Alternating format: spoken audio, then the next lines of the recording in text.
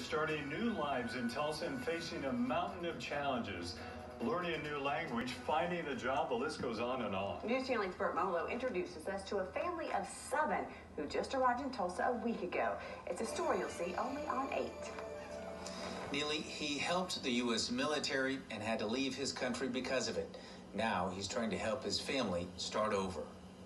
With a spread of traditional Afghan cuisine, a room of nearly 40 refugees newly arrived are beginning to call Tulsa home. My name is Ahmad Ershad Yusufzai. Ahmad is one of just a few who speak English and served as our translator for the Shenwari family.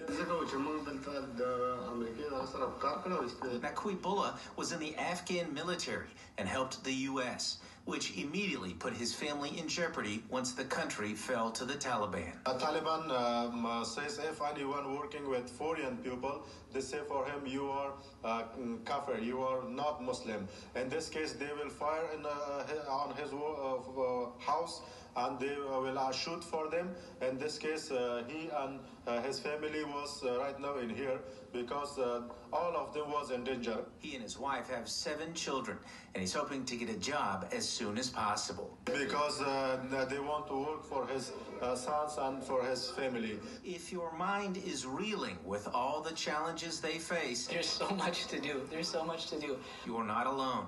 Imam Mohammed Herbert putting out the call for English teachers. These people are coming, you know, with no language, right? So if you're an ESL qualified teacher, if, if you are qualified to teach English as a second language, please, please volunteer. Or even if you can't volunteer, just be willing to work. We'll pay you, you know. And over near Woodland Hills Mall, this just opened?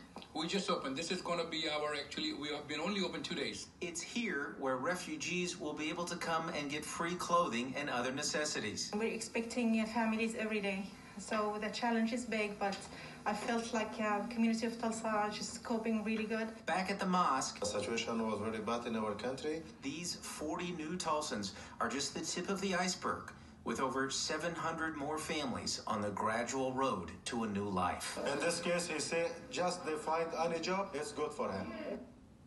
If you'd like to help out with clothing or in any other way, visit this story for a link. Reporting